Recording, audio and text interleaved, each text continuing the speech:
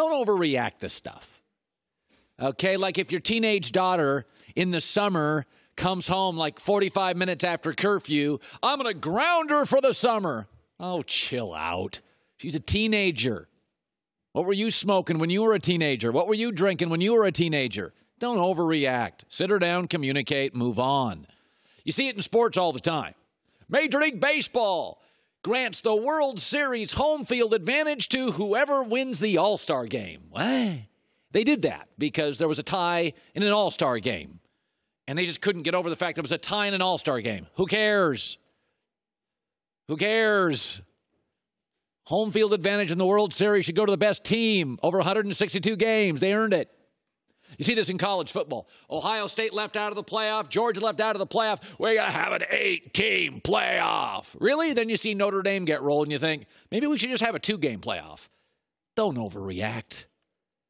Don't overreact. Now the NFL is saying, and I think they're doing this because they knew a lawsuit was coming from the Saints having their own little pity party. The NFL plans to study making pass interference reviewable. Why? Because they had a bad call in a game? By the way, that, that wasn't called pass interference. So now you're going to allow coaches on plays that aren't called to say, you know, across the field, I thought there was a pass interference. It wasn't called. Yeah, I know, but I want to review it. This wasn't called anything. What are you reviewing? It was a non call. So you're going to allow coaches now the ability throughout the course of a game to just demand, I see something I think I saw on the other side of the field that should have been pass interference, and I. Folks, referee whiffed, happens all the time. There are now pictures all over the internet of six calls against the Saints that weren't called. But this is recency bias. In psychology, that's what they call it. You remember the last bad call. That one cost you the game. Listen, if you watched in football all season long, what was the one complaint about the NFL? Okay, they got the catch thing right.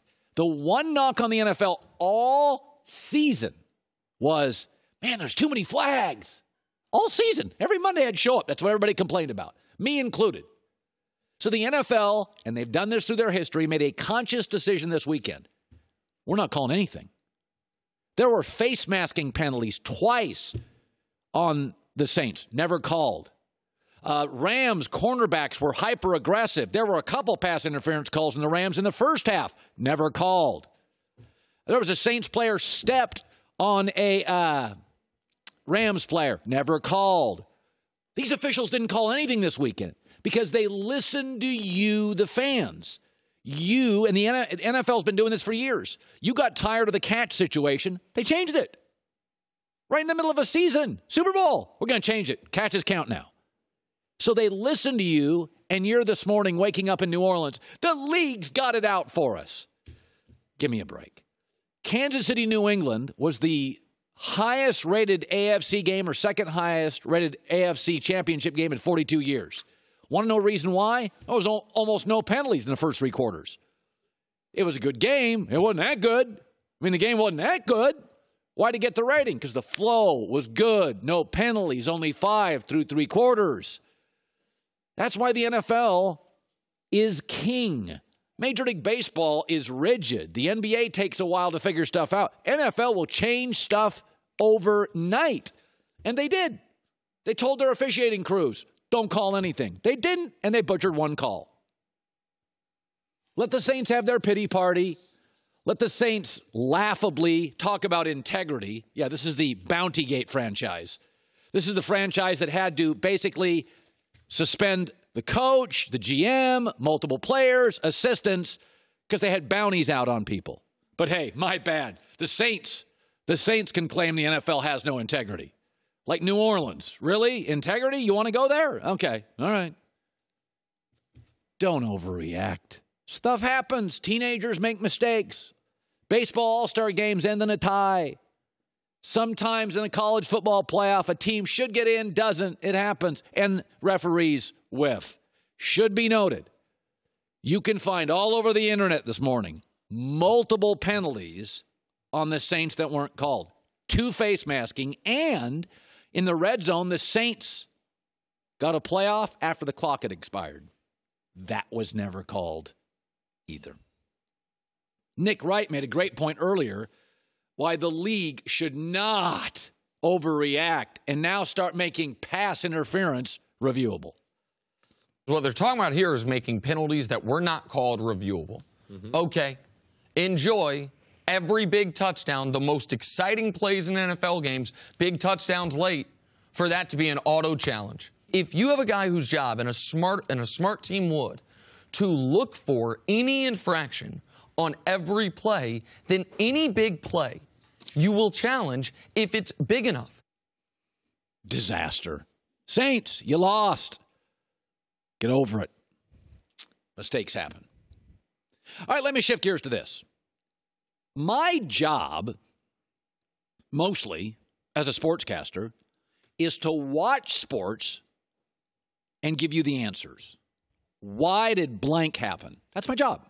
75% of my job is to watch sports and react to it. You tune in every day. What Colin think about that?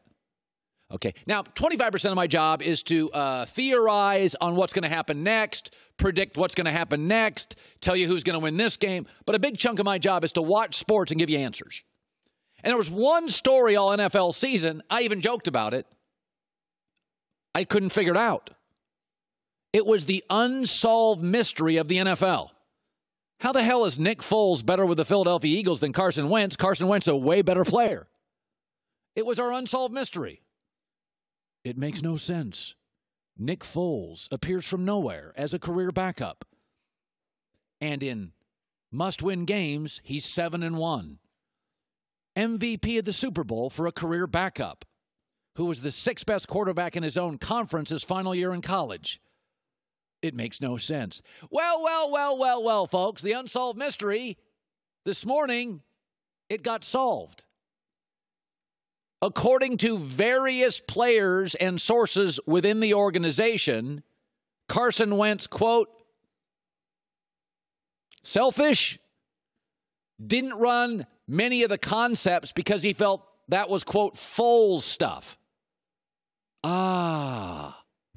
So a month ago, I said on this show, I said the only thing I knew about the Foles Wentz thing was that I was told that Foles was more reliant on coaching, less talented guy, that makes sense, easier to coach. And I said a month ago, Wentz was a little tougher to coach because, like anybody that's really talented, Cam, Rodgers, Wentz, they're more reliant often on themselves and a little bit less reliant on coaching. That's all I knew. And today it's been confirmed. Foles is easier for the staff to coach. And that, by the way, this is a very human thing. And I don't want to see everybody bang on Carson Wentz. Folks, this is what would happen with anybody in that situation. Tom Brady, an absolute legend, with not only a trophy case, probably has a trophy room or two, his ninth Super Bowl, he felt somewhat threatened by Jimmy Garoppolo, who won a single game. And Garoppolo got traded for an end table. And that's Tom Brady. If you're a star or a top draft pick and you get hurt and your understudy comes in and wins a Super Bowl, it's incredibly human for you to kind of bristle when you come back and say, I want, I want to run my plays, I want to run his plays. Carson Wentz is just like anybody. Hell, Brady, according to various reports, didn't love the fact that his understudy was right behind him. Didn't want him there. So, you know, the, the, the, the story, by the way, says that Carson Wentz plays favorites. Do you see who supported him in the story? Zach Ertz. When Zach Ertz and Wentz are together, they're like, you know, bosom buddies. They're buddies. They, that's who he throws to. Not a shock, the one guy that supported him in the story and said it's not true is Zach Ertz, his favorite target. So, yes, this is sort of what I was told about a month ago. Now, there's much more severe quotes. He's arrogant. He's selfish. The story also said he's an incredibly hard worker. He's brilliantly talented, and a lot of people like him, but he's harder to coach. So, I, to be honest with you, the only thing that would be surprising is if there wasn't a little tension in the room. Star gets drafted, Star gets hurt. understudy comes in, gives the city its first Super Bowl, and you don't think the star's going to have a little ruffled feathers? Of course he is. And the, the, there is no moral to the story other than Carson Wentz is human. And how do you solve this story? Very easily. Smart teams do this all the time. You trade Nick Foles, and there's a sucker out there that's going to overpay him and give you more players than he's worth. Carson Wentz is clearly the future. Carson Wentz is clearly more talented. Carson Wentz is absolutely who you should build around. And Nick Foles, there's a sucker every minute. We'll pay him a fortune, trade multiple players, and Philadelphia will do what New England does, what the good teams in this league do manipulate the suckers. I mean, isn't that what New England's done for years? You ever notice how often New England trades with Cleveland and Buffalo? ever notice that? You ever notice they don't trade with like Philadelphia, the smart teams, very much? New England, this is what they always say about great baseball hitters. Great baseball hitters don't hit the aces, they hit the three starter and the four starter and the middle relievers. New England and Philadelphia are two of the best run organizations in football.